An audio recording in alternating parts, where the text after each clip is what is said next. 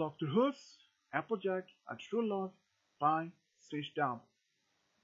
It has been a very normal day at Sweet Apple Acres when Applejack had to take care of the farm and her sister when she's been sick lately. Big Macintosh was actually to Appaloosa to help their cousin Braeburn, and Granny was also away to Las Pegasus with some of her friends, so Applejack had to look after her sister even though that Applebloom didn't want her to take a look after her that she thought that she could do it herself, but since having a high fever makes her not as qualified to do telling it herself. Even before Applejack, before Big Mac and Granny left, they told Applebloom to listen to her sister because when having a high fever, she's not qualified to telling what she wanted to do. Even as she asked if she could have Sweetie Belle and Scootaloo over for a visit, but both of them, all of them said no, because she's had a high fever and they don't want to risk it to contagious their friend, her friends too, and that she's very sick with high fever, and she doesn't have much energy in herself, so she all she needs is rest and calm. Apple Bloom didn't want to listen, but she has to.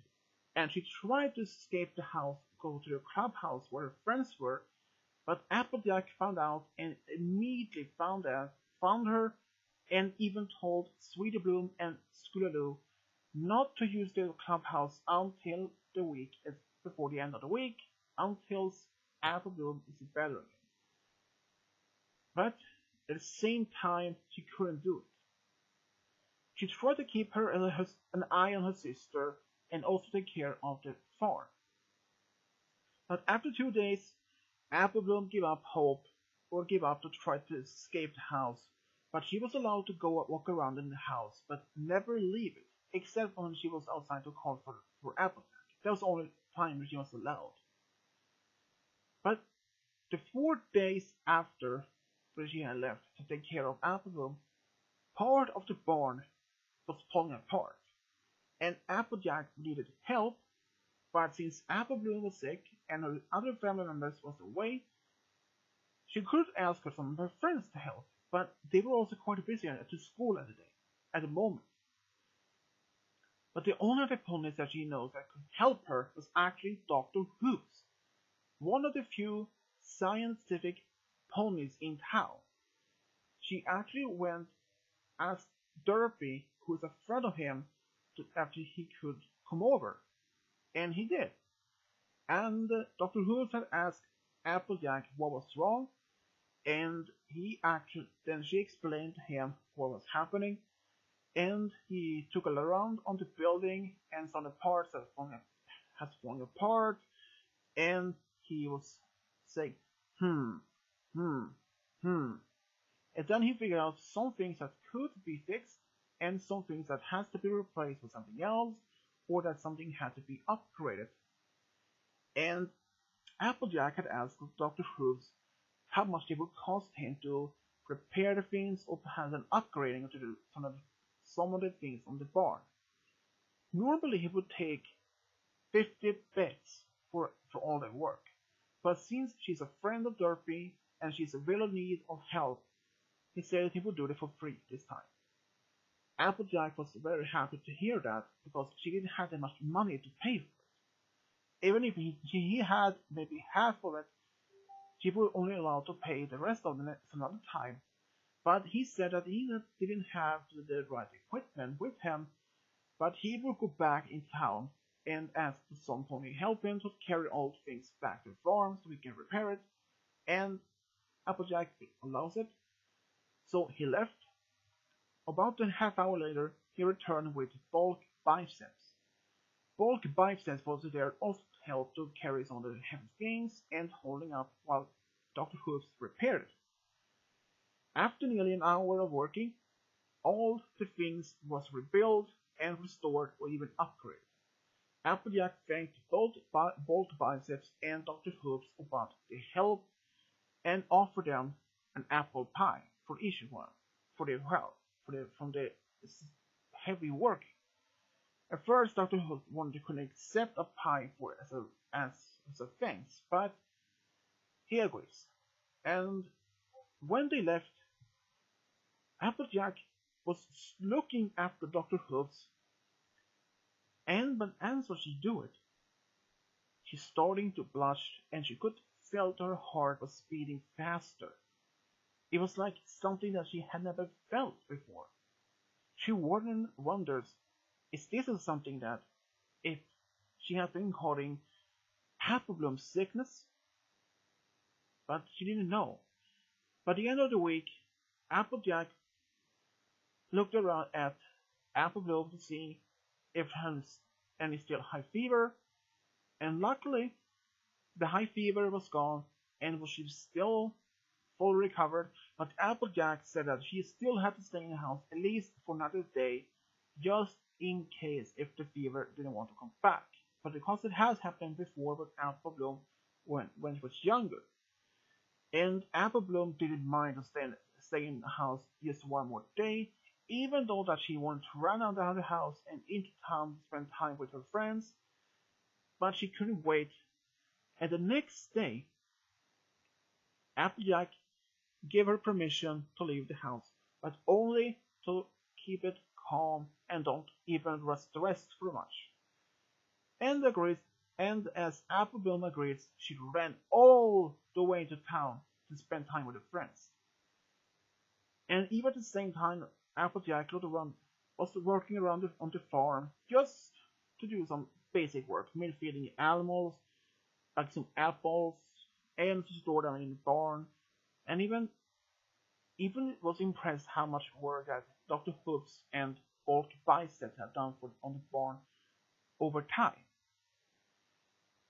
Even much of his work was very impressive. She was actually starting feeling she should do something for him for his health, but she didn't exactly know what to do.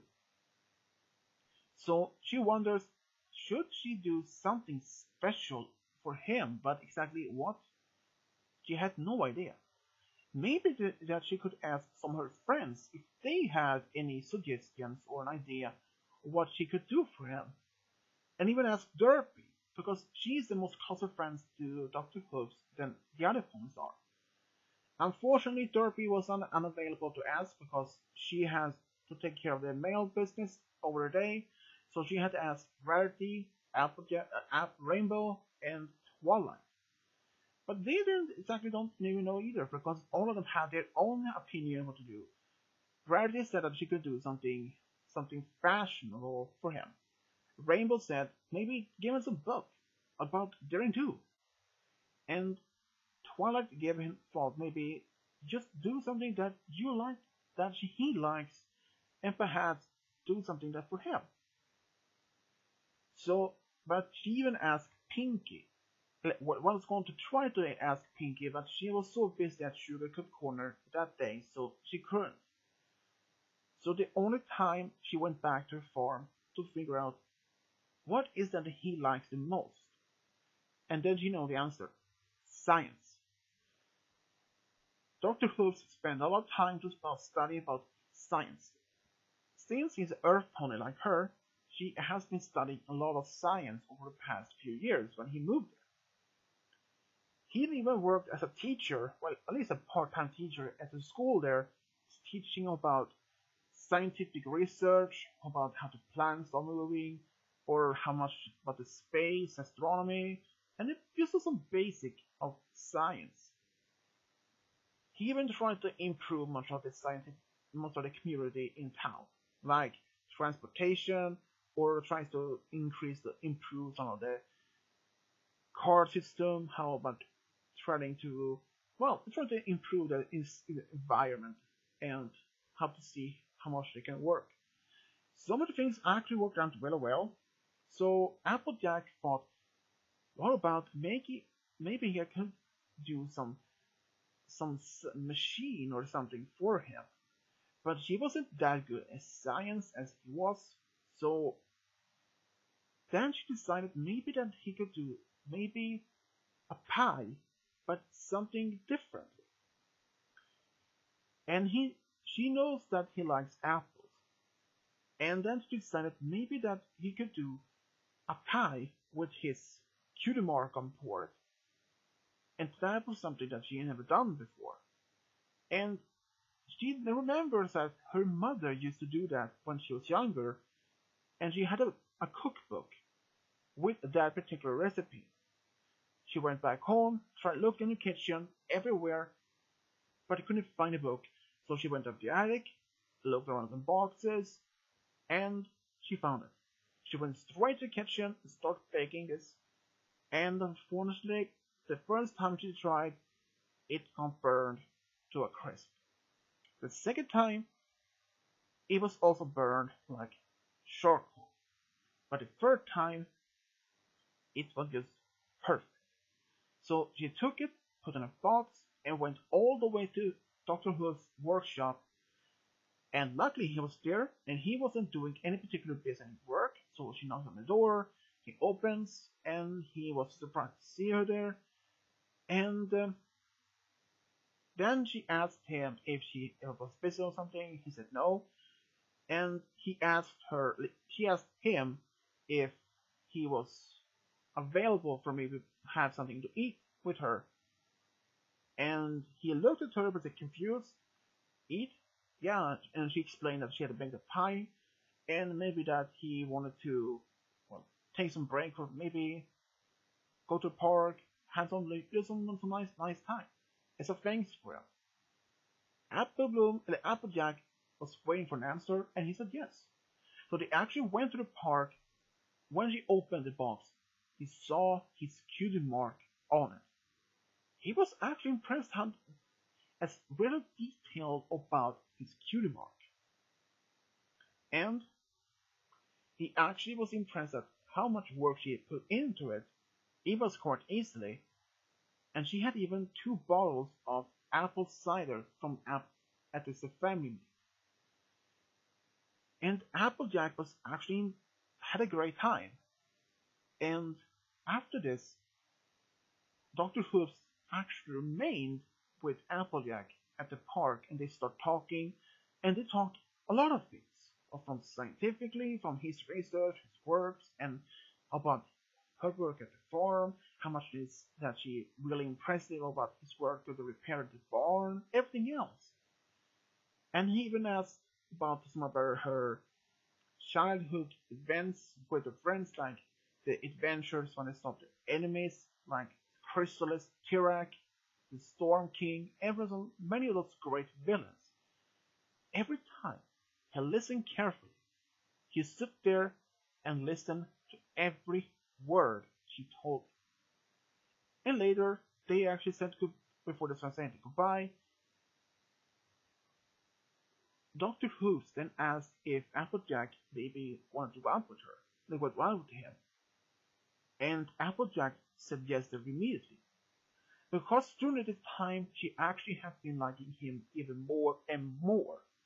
So they decided to go out on the restaurant the next day at as dinner. When she came back to the farm, Big Mac and Granny Smith had arrived back home and she told them about it, her date with Dr. Whooves after he helped to repair the barn Big Mac looked at his sister, and what happened? she asked. So she showed him some of the new things on the barn, that some of the boards was rotten and has been falling apart, and he didn't notice it much because he has been working there and and he spent some time with Sugarbelle. And but he was just happy to that the barn was fixed, and he was happy for his sister, and give her support.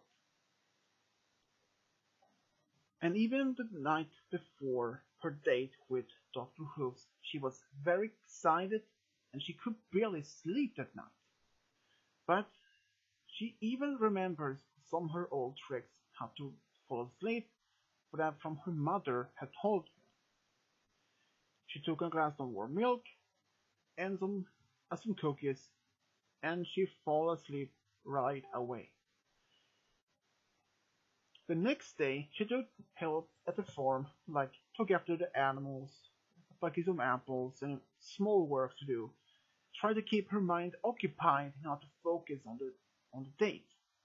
But when the time was almost close, Applejack was actually was getting ready. She put some ribbon in her in her mane and went straight to the town to Sugar Corner where Dr. Whooves was waiting. Dr. Whooves had put out had put on a, a suit just to be more elegant.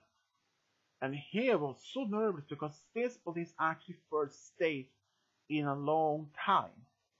But when he saw Applejack, he felt even more nervous, but at the same time happy.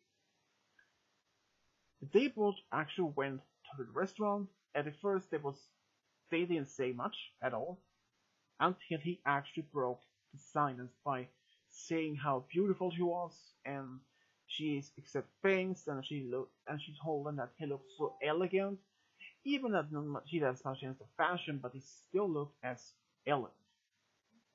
But both of them actually enjoyed their day together and their dinner was just going so well. And after they had their, their dinner they actually decided to take a stroll together to town just having a good time talking but the most of the other otherwise, Applejack had noticed how much silent he had been since they left the restaurant. And she asked him if something was wrong, and he said no, nothing is wrong, but that he hasn't been on a date in a long time, and he was a bit nervous still. And then suddenly, Applejack stopped, and he stopped and he looked at her, and she kissed him. That took him off guard, and he kissed her back. And they stood there kissing. It felt like an eternity when it was standing there. But after a few minutes, they looked at each other and said, I love you.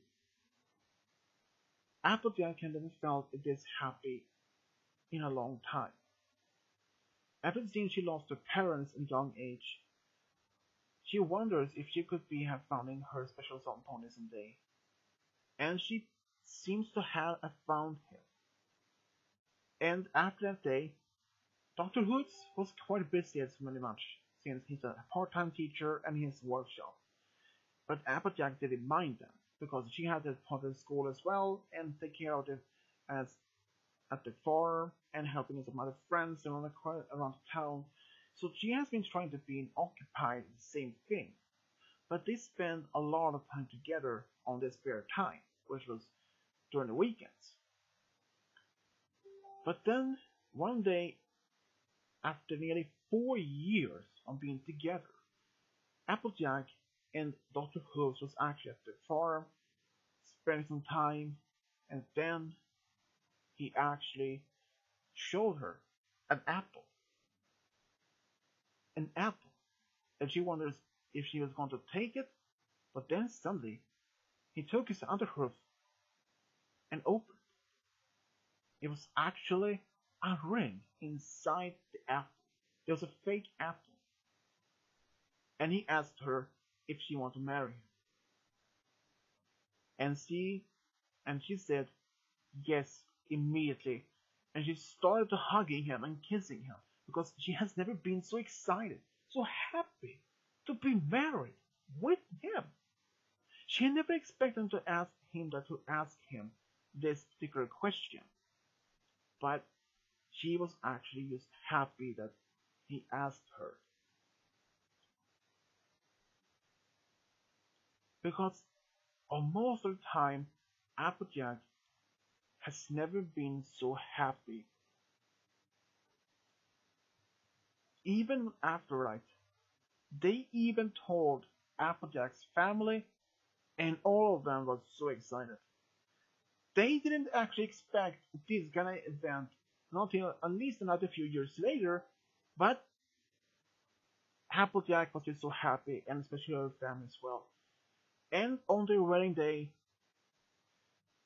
Granny Smith told Applejack that if her parents was there, they would be so happy to see her be married, especially with her special son Paul. And Applejack cried when her grandmother told her that, and she knows that she was right. And then, and then they actually went to a tropical island their and their on for their honeymoon for three whole weeks. And two years later, Applejack and Dr. Whooves found out that she is going to be a mother. And she was so excited. And even Dr. Whooves could never be more excited to be a father, and especially to a son. And then the day came when he was born. And they named their son Apple Time. Apple Time was like his own father, interest in science, but also at the same time very want to help the family at the farm. He actually inherited her mother's strength and loyalty. And he actually remained at the farm. And he even got married when he was about 25 and he had two sons and one daughter and they all stayed remained at the farm to helping well the family and the farm to continue. And four years later, they had another son which they named Apple Void. Apple Void was actually born blind, but he had still very good sense to move around without any help. And his parents was actually very impressed of that. And he actually got himself married about in age 22. And he also remained at the farm and he had four daughters of his own. He was very, very strange, but he was very loyal, even if he was blind. But he still loved his family no matter what.